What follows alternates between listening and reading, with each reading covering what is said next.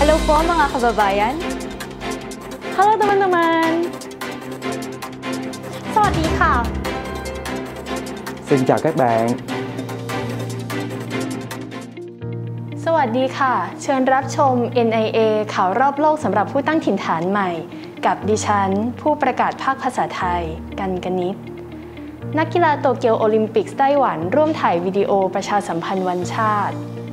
การเก็บค่าบริการย้ายงานของแรงงานต่างชาติ เป็นการกระทำที่ผิดกฎหมายสำนักงานแรงงานไทเปจัดอบรมการดูแลผู้สูงอายุให้กับแรงงานต่างชาติ ผู้ตั้งถิ่นฐานใหม่รับบทไกด์แนะนำไต้หวันด้วยภาษาของประเทศตน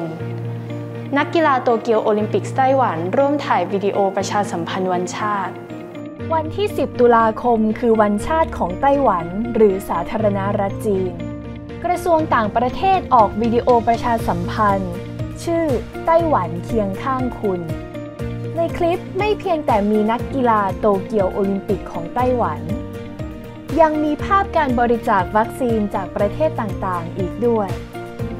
การเก็บค่าบริการย้ายงานของแรงงานต่างชาติเป็นการกระทำที่ผิดกฎหมายแรงงานต่างชาติในไต้หวันลำบากมากใช่ไหมเมื่อต้องการจะย้ายงาน นานมานี้สภานิติบัญญัติได้จัดประชาพิจารณ์ ร่วมประชุมกับกลุ่มแรงงานข้ามชาติ เพราะว่าเมื่อต้องการย้ายงานกลับมีการเรียกเก็บค่าบริการที่แพงลิบลิ่วจากนายหน้า กระทรวงแรงงานแนะนำให้แรงงานต่างชาติที่พบเจอการขูดรีดโทรแจ้งได้ที่เบอร์ 1955สำนักงานแรงงานไทเปจัดอบรมการดูแลผู้สูงอายุให้กับแรงงานต่างชาติ นึ่งของครอบครัวที่มีผู้สูงอายุที่มีปัญหาในการเคลื่อนไหว มีการจ้างให้แรงงานต่างชาติเป็นผู้ดูแล ในกรณีนี้สำนักงานแรงงานเมืองไทเปได้จัดโครงการการดูแลผู้สูงอายุอย่างปลอดภัย เพื่อพัฒนาเทคนิคการดูแลผู้สูงอายุของผู้อนุบาลต่างชาติ เพื่อช่วยให้พวกเธอร่วมเป็นหนึ่งในธุรกิจการอนุบาลผู้สูงอายุของไต้หวันไปด้วยกัน ผู้ตั้งถิ่นฐานใหม่รับบทไกด์แนะนำไต้หวันด้วยภาษาของประเทศตน